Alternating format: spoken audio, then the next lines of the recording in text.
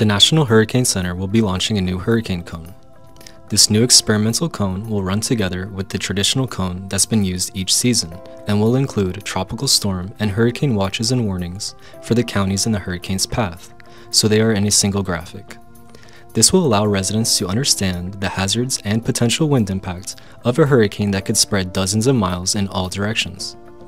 Adding this information will also help draw attention to the full scope of a hurricane and its hazardous conditions rather than focusing solely on the center line of the cone. The cone is actually an average of errors and a best guess of where the center of a hurricane may land. The size of the cone is not an indication of how strong a storm will become. Despite being called the cone of uncertainty, hurricane tracking has become extremely accurate. However, the further out the storm, the less accurate it will be because many factors must be considered.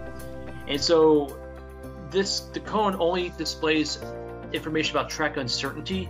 Uh, we don't illustrate anything about specific impacts, whether it be surge, rainfall, tornadoes, for example.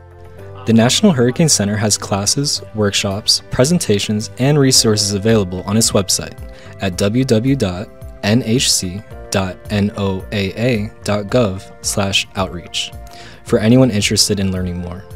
The City of Pembroke Pines, Pembroke Pines Prepared section on its website at www.ppines.com slash hurricane is also filled with important information. Residents are encouraged to learn how to be prepared and to understand warnings and hurricane information before a storm approaches.